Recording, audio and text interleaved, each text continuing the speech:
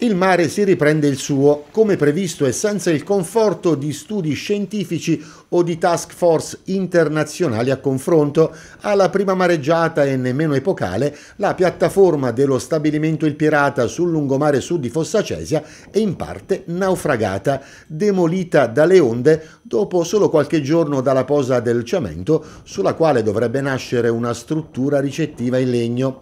Il progetto al centro di polemiche e proteste per l'inconcepibile inconcepibile vicinanza alla battigia e dunque ancora più in discussione col conforto dei fatti. Un cantiere sotto sequestro dopo le segnalazioni di diverse associazioni ambientaliste. Le immagini parlano chiaro, cemento in frantumi, armature in ferro piegate, i marosi che hanno invaso buona parte della piattaforma. Il pirata cola a picco dunque, in un'assurda ambizione ricettiva che non tiene conto di distanze, maree, motondoso. Forse sul lago di Bomba o ai margini di una peschiera l'esito sarebbe stato diverso, un mistero come non sia stato calcolato che il mare non è sempre in bonaccia.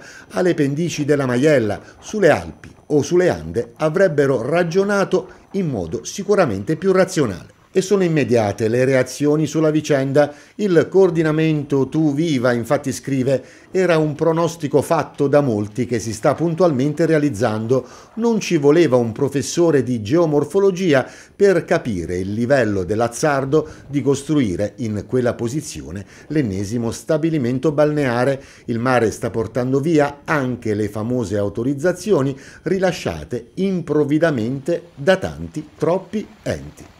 Del pirata per ora restano pezzi di cemento trascinati in acqua dove probabilmente rimarranno. I lavori sono fermi, ma anche se dovessero riprendere non avranno lunga vita.